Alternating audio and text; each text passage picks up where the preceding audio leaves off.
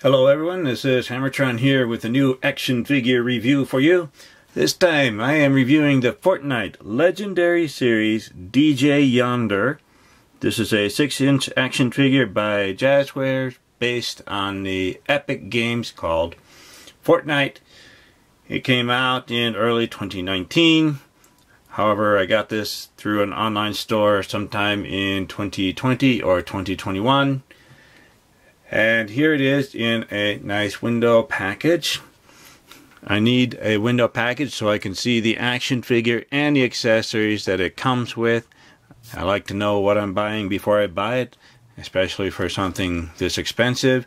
And this kind of item has been in window boxes for decades. There are action figures way back in the 70s, maybe even earlier, that had window boxes or window packages. So, here is the front of the package. Here's the top where we have the window wrapping around up the top to let in more light. Here is the bottom with some manufacturing information. Here is one side. Here is the other side. And here is the back with a picture of the character from the game. And DJ Yonder's quote is, packing a playlist for the perfect party. And this is part of Series 2, the second series of Legendary Series action figures. These are the other action figures in the wave. So I will open this up and review the action figure in just a moment. Here are the accessories that come with DJ Yonder. Over here some sort of crystal globe or glass globe. Very interesting item. And I think there's a slot here that we put in put on the fingers and then the thumb can go into this middle part so the action figure can hold this crystal ball or crystal globe. So very interesting. And here is a rifle so it looks like a very nicely sculpted and painted weapon. I'm not sure what kind this one is, but it just looks cool. So I like how it uh, looks. They put in a lot of effort to sculpt it and paint it, so it looks very nice. Here is a harvesting tool. Nicely sculpted and detailed. I think it's at least two or maybe three parts. At the top it looks like two parts um, put together and then perhaps the third part is this handle. So they put in some effort in sculpting it and actually painting the details. So I do like all the extra effort put into some of these accessories. Here are a pair of pistols. They look identical sculpted and painted identically so very nice. This is an interesting item. This clips around the waist of the action figure. So DJ Yonder is some kind of disc jockey so his portable um, turntable machine. Lots of painting now it's hollow here but I guess I have to save on plastic somewhere. And then here is the back bling or backpack or something. Looks like a mini cape. Looks like it's uh, meant to represent the volume. And this plugs into the hole in the back of the action figure. So, Jazwares does a lot of nice work on making the accessories for the action figures.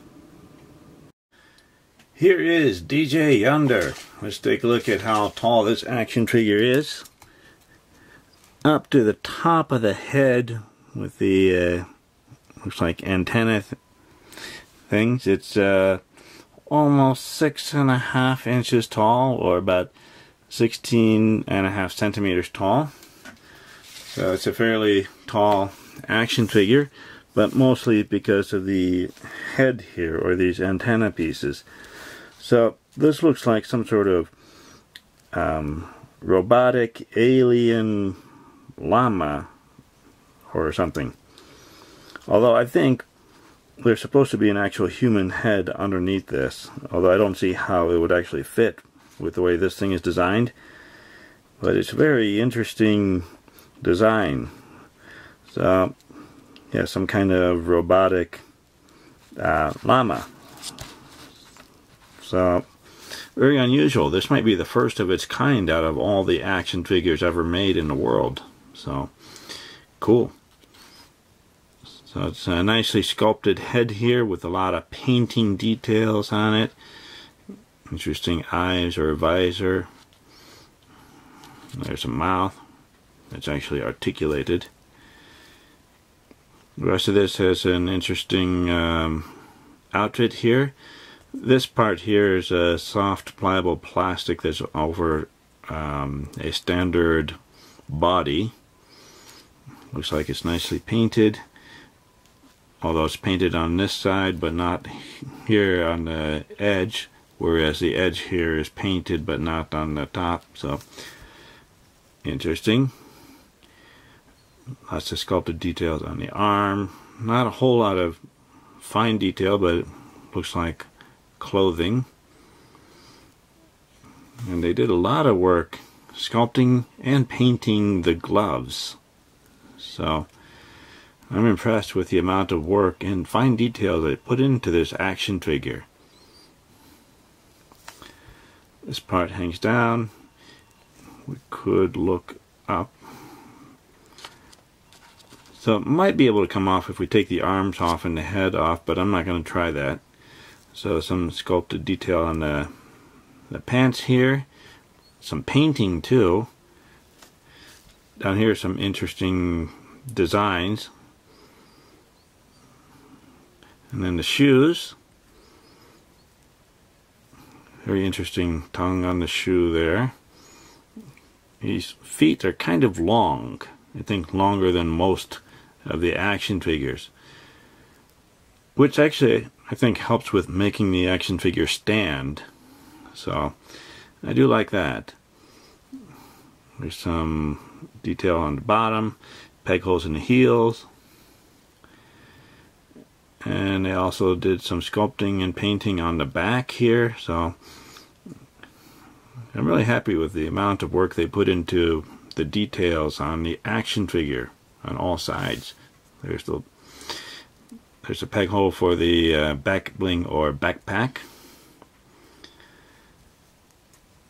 Looks like that's meant to be, uh, perhaps that's a hood. Meant to be a hood, but it's not a real hood. So, it certainly looks nice. Now let's take a look at the uh, articulation. So, the mouth actually opens and closes, so that's nice. The head moves up that much, down a little bit more, turn side to side, and not much tilting. Shoulders, so this side moves very nicely. This side is very hard to move. You hear that? Very loud clicking noise. So I've been working on this for a little while so it's loosened up a bit, but still I just don't like how that sounds. So I think actually goes quite a bit higher. I don't want to push this one too much. So let's see if I can move it back into position.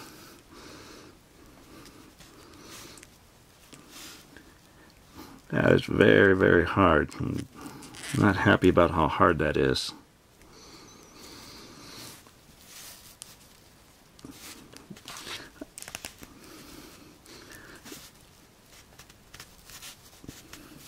Wow, that is really hard.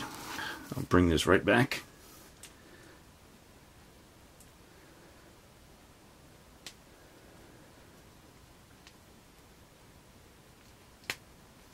Okay, wow. Yeah, that's something I don't want to move around too much because I'm afraid I'm, if I don't have, if I have too much leverage, I'm afraid I'm going to break something. So that is just very tight there. Unless it's backwards. Maybe it's backwards.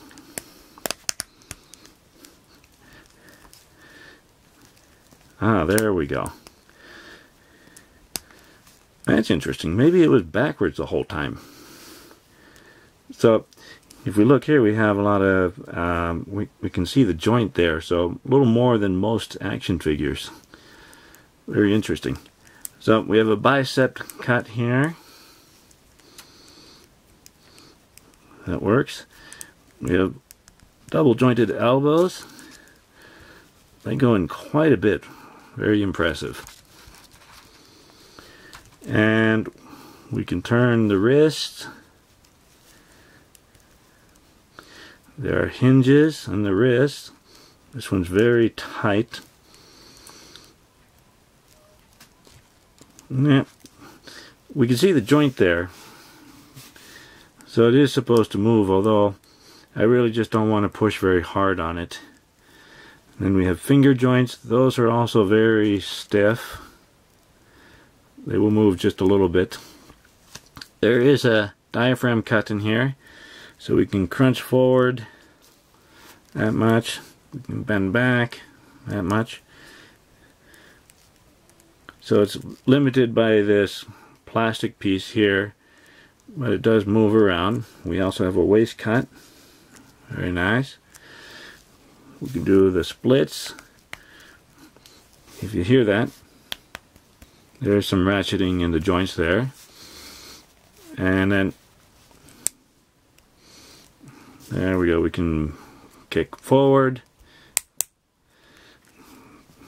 back, not really. Kick forward, can't really kick back. So some of the ratchets are very, very strong in this. So I hope that doesn't mean there's a problem. Then we have upper thigh cut. That works. We have double jointed knees.